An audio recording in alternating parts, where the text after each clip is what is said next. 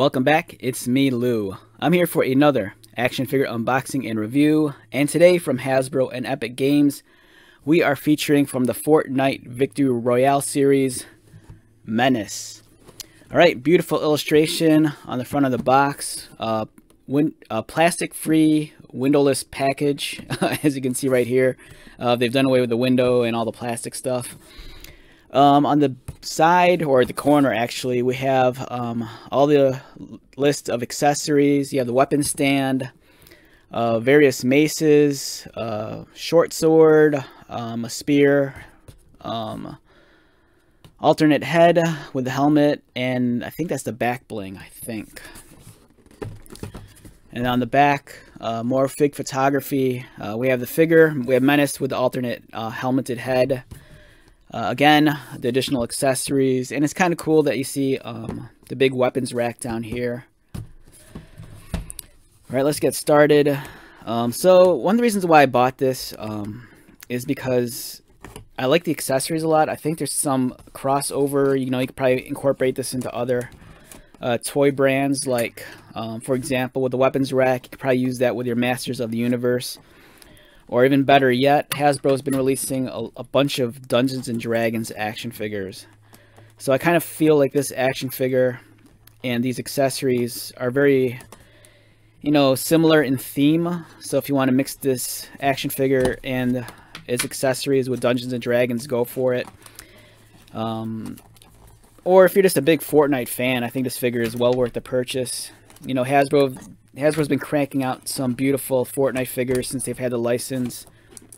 Um, you know, previously McFarlane and Jazwares had the Fortnite license, and both of them were producing excellent figures, res respectively. Uh, Hasbro had the larger 7-inch scale figures, and Jazwares was doing the smaller 6-inch scale figures. And these Hasbro ones are great, you know. Um, they're, they're, they're very much in line with the quality you'd expect from like a Marvel Legends or a G.I. Joe Classified series or a Star Wars uh, Black series. Uh, here's the plastic cardboard inserts. You're getting multiple paper tissue baggies. Let's remove those. Um, weapons rack. Weapons rack again. And then here's the figure. I just want to make sure I'm not missing anything. Like, I don't mind the cardboard uh, inserts and the all these tissue wrapped accessories, but every now and then they kind of like hide the accessories, and you want to make sure you don't accidentally throw something away.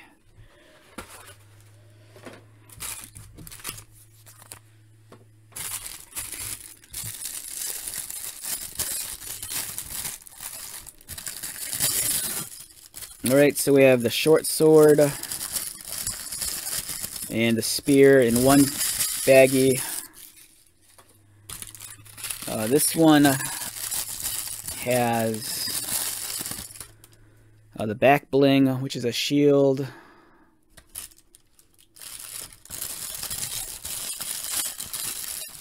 And then you have one of the maces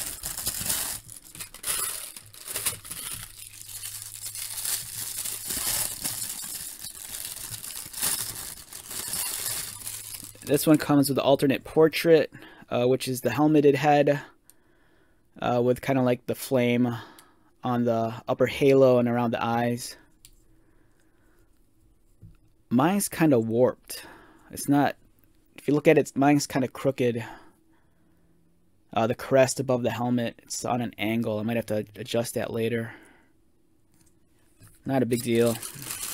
Uh, I could just submerge that in hot water and just kind of rebend it back into place.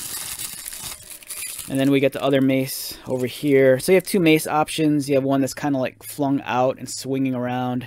And you have another one that's kind of limp, for lack of a better term.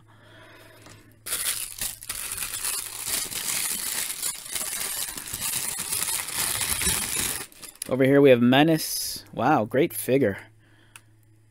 This is something that you can easily blend into your like um, Dungeons and Dragons action figures. The scale it feels a little bit taller, but you know, um, you know, your argument could be that he's just taller because you know he's not a kid or a teenager like the other Dungeons and Dragons figures, or at least for the animated line. You know, you can even blend this into the live action one if you wanted to. Or if you want, you can pair him up against the recently released uh, NECA Ultimate Warduke figure.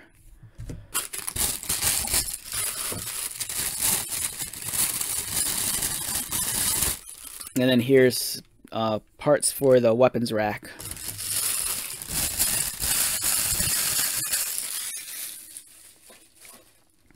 Alright, let's assemble the weapons rack real quick. It seems like it's pretty self-explanatory. You have these large sockets on the bottom and smaller ones on top. And then here, um, you have the smaller tabs towards the top and then the larger ones on the bottom. And it should plug in just like this.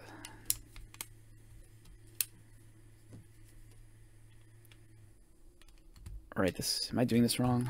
Maybe it's this one.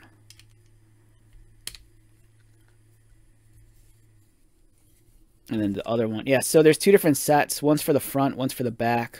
And they're they're fitted differently. So you just have to figure out which goes where. A great sizable prop. I think this would be a great accessory for like other toy lines like Masters of the Universe. Um, you know, if you want to put this in Castle Grayskull. I mean, Castle Grayskull already comes with like a weapons rack, but you know, you can never have too many weapons racks. And you can just easily store the weapons on it. There's no real good way of doing it. You know, this guy doesn't come with any swords or anything, so. But it gives you an idea what you could do, you know. It's cool, has function, and it breaks down so you can easily store it if you're not using it. Uh, accessories, let's take a look at those real quick. Uh, here are the two different maces as we looked at earlier. You know, one's kind of more like neutral, another one like a little bit more dynamic. So depending on the pose you want to, you know, put the character in, or if you want, you could dual wield them. Uh, here's the back bling. It's pretty much just a shield. So like a, I think it looks like a lion on the front. And uh, these additional pieces they're kind of glued onto the shield, so you can't remove them. Uh, here's the spear, very basic, very simple, nothing too fancy. I do like the shade of silver on the on the tip. Here's the alternate portrait, as we looked at earlier. Flaming eyes, a, a big large flame on the crest. But mine's kind of warped. As you can see, it's a little bit crooked. I kind of need to like submerge it in hot water and then reshape it back so it's uh, perpendicular to the front of the helmet. And let's take a look at Menace. Um, also comes with a knife. And then there's a scabbard on his left hip. So you can store that on his body.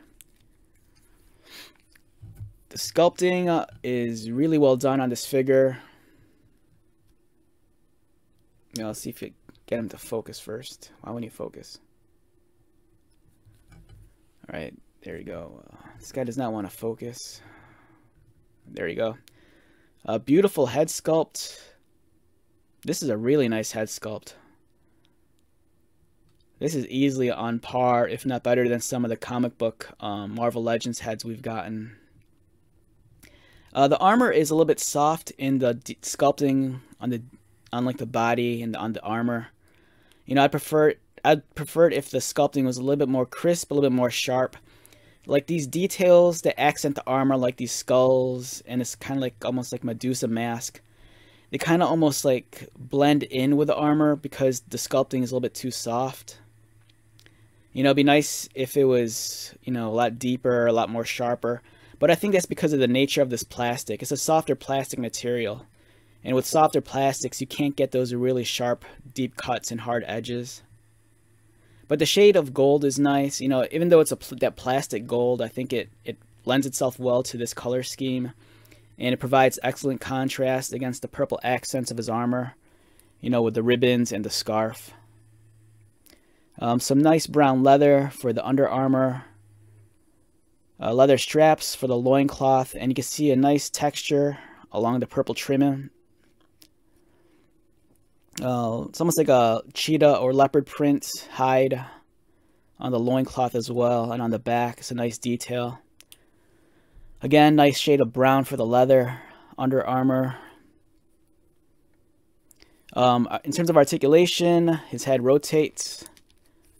Uh, does he look down? Looks down enough. Does he look up a little bit? Arms rotate, but yeah, they rotate all the way around. They go out. Um, uh, they only go out so far. I think that's because of all these extra armor pieces. Uh, there is a bicep cut underneath all that. Um, uh, looks like you're only getting a single pinned elbow, uh, pinless design, or a single joint elbow pinless design. And it also has an additional swivel. So in addition to having the bicep swivel, you have an elbow swivel, which is nice.